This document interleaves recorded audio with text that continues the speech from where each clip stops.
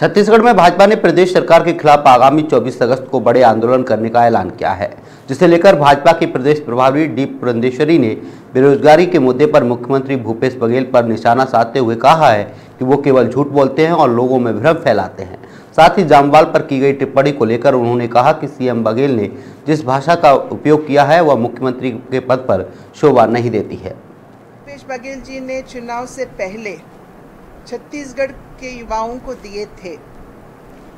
उनको नहीं निभाए, जिसकी वजह से कल हमारे युवा मोर्चा को ये प्रदर्शनी करना पड़ रहा है।